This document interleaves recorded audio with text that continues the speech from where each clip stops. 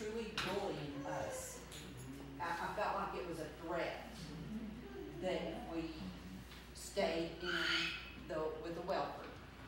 Um, he, he- he got really nasty and ugly with T women, um, the language he he used. Um, And the veiled threats.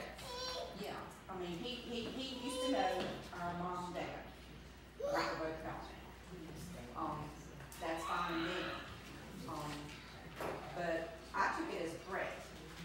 Um, because he said, I told him that I would need to get my sister, we live next to each other. And, uh, I was talking about having the extra police protection, especially for certain streets around our area. And he proceeded to ask me if I had a gun. I won't tell you what I said, but I do. And he said that's all I needed. Um, But he had some really foul language and he was just, he was really nasty and I did, I took it as a bullying, I took it as a threat. That what he said was that Wellford could not babysit, was not gonna park across the road and babysit us twenty-four hours a day. Um, And I don't expect anybody to do that. I mean, I'm a grown woman, I can protect myself and I will protect myself, okay? But we do have dogs outside in our fence, and I spent a lot of money fencing in my property so that my dogs don't run, they can't get out of my fence, other dogs and cats can't get in my fence, well, the cats can, but, um, and maintaining our property. And now it's to the point, we're scared to let our dogs out in, in a fenced-in yard, because we're scared of what's gonna happen. Um, I can protect myself, you come in my house uninvited on me. The only service that Need from Wellford or Spartanburg County is corners, come and pick them up. But I can't be out there to babysit my animals twenty-four seven. That's why I had a fence put up. We are scared. Um, I'm scared for the elderly.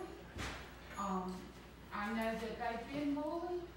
And it's a bullying mentality. If you go on the, uh, Starklet's Facebook page, some of the threats from the fire department against citizens, because they asked for the fire truck on non-emergencies to slow down coming down through a certain zone.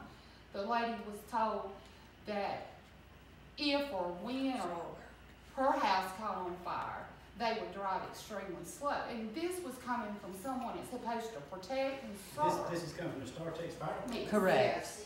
Yes, Correct. That's, that's where a lot, of- and that's where the person came from yesterday. Uh, And that comment was made to me.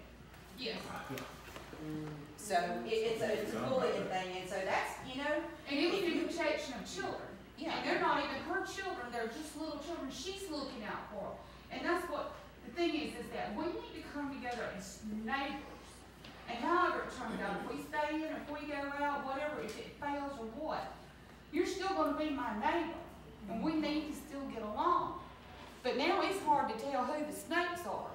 Whereas I can, you know, not to judge a book by its cover, but, you know, sometimes you can really tell a, a drug head from, from a regular, Well, these, these, Neighbor. these, these people that, from what I'm hearing, they're, that are bullying people, are not signed into the city limits as well. No, They, they, no. were- they, they're in the county.